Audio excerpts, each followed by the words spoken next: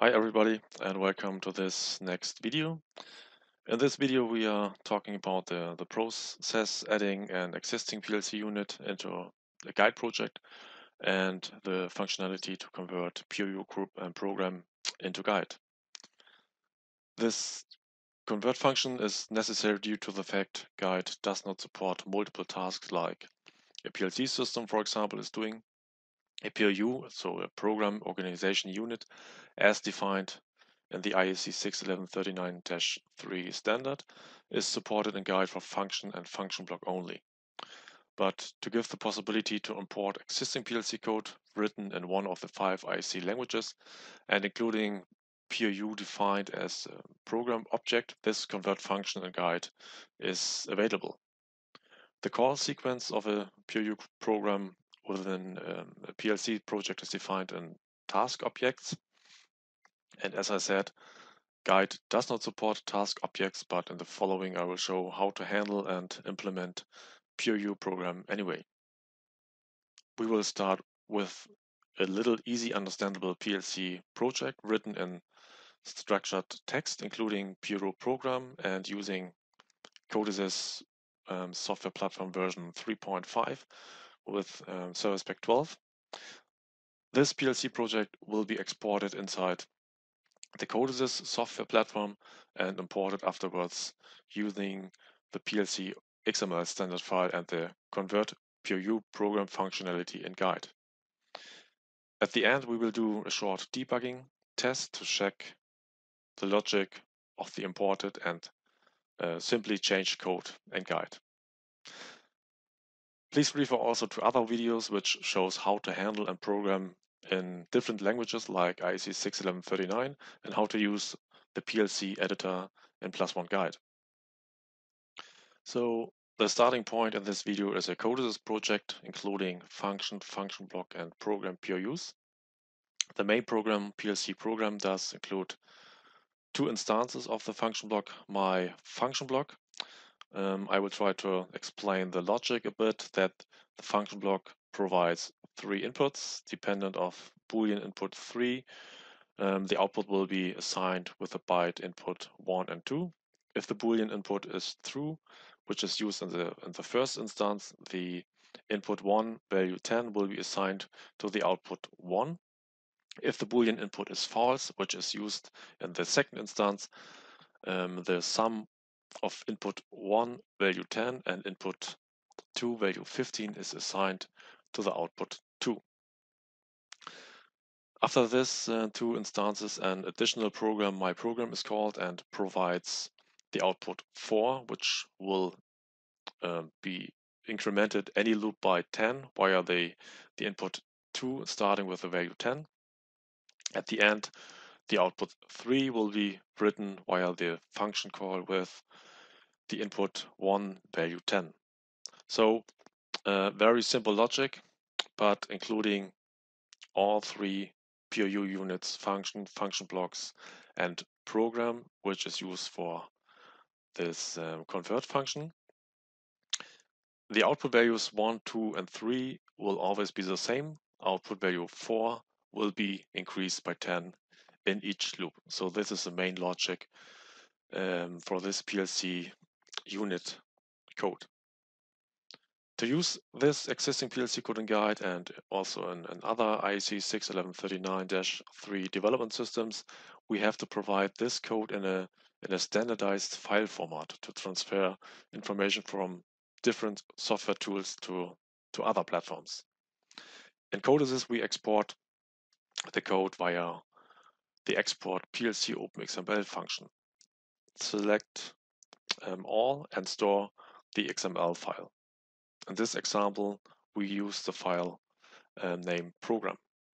After exporting the existing PLC code via the PLC Open XML export, we want to import this standardized code and guide.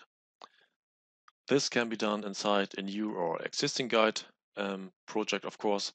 I created a new project to show and debug the PLC code at um, the end. Doing so, I used um, guide version 11.1 because this version will be released soon and provides a nice and uh, user-friendly improvement, creating new project.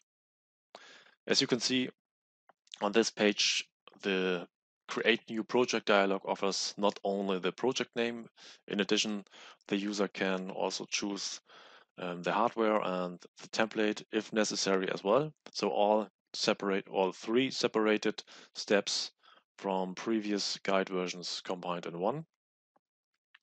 For this video, the template is not used, so I disabled the checkbox. After setting up a new guide project, we can import the PLC Open XML code. Inside the project manager, right-click on the application name and choose Add Existing and PLC Unit.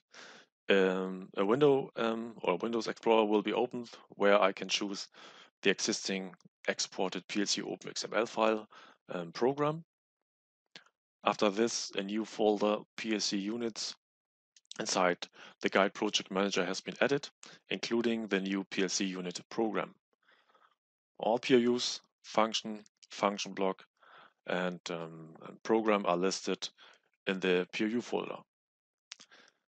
Global variables does include program-specific declaration from the codesys file like var global, var access, or persistent variables, and also variable configuration itself.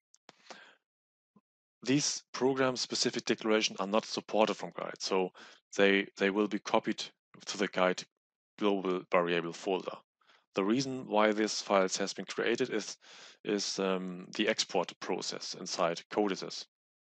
At the beginning, I showed you that um, how to export the PLC code as PLC OpenXML file. During this export dialog, I choose all, which does include, or which does also include these mentioned specific declarations like global variables, variable configuration, and persistent um, vars. So let's take a look to the POU or POU's folder inside the Project Manager tab and guide. This folder does include all POUs, my function, my function block, my program, and uh, the main um, program PLC program as well. So all POUs written in structured text and the language um, prefix.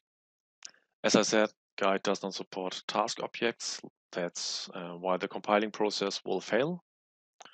From the IEC 61131 perspective, everything inside structured text looks correct and declared in the right way, the POU program needs to be converted into a function block so that Guide is able to handle the POU functionality.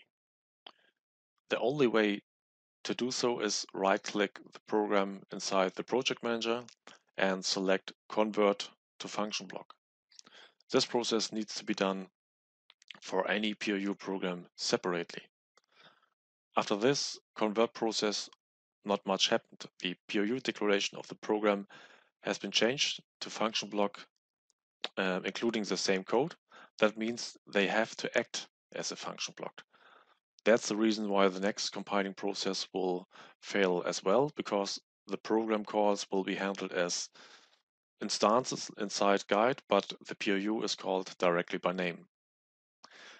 To solve this an instance needs to be created manually and used instead of the POU program name. In addition, the variable out needs to be declared as output variable as well. The converted POU program are acting as function block now and the compiling process ended successfully.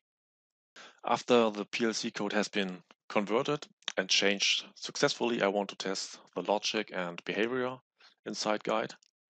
For testing, I use the Guide debugger functionality, which is provided in Guide without any additional add-on licenses. To call the PLC code and set a debugging breakpoint, I add the component called POU to the drawing area, connect a true constant to trigger the call POU component and select the main POU PLC program. This is more or less um, all what is needed to call the PLC unit and test the logic directly inside the structured text code. But to make the variables and uh, the result better visible, I declared all variables in POU PLC program as uh, var output and connect them to checkpoints in the guide drawing area. So start the debugger, clicking F7 key and set a breakpoint on the component called PLC program. Config the breakpoint dialog on that component to set active so that the debugger will stop at that component on any loop. We use the step over function, which is the F8 key, until we are after the, the call of PLC program. The outputs has been assigned correctly. So the loop index 0 provides the following um, results. The output 1 is 10, output 2 is 25, and output 3 and 4 are also 10 in the first index or the first loop. Then we use again the step over function, which is the F8, until we are after the, the call of PLC um, program again, uh, but now in, in, loop index 1, so one loop after, and the results are output 1, 2, and 3 are unchanged, and output 4 has increased by 10. So let's do it again. Um, step over via F8 key to check the results in loop index 2. So no changes for output 1, 2, and 3, still the same result, and the output 4 has increased again by 10.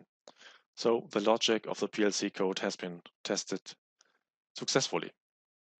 This showed um, one possible and uh, yeah, easy um, use case, how it can be tested.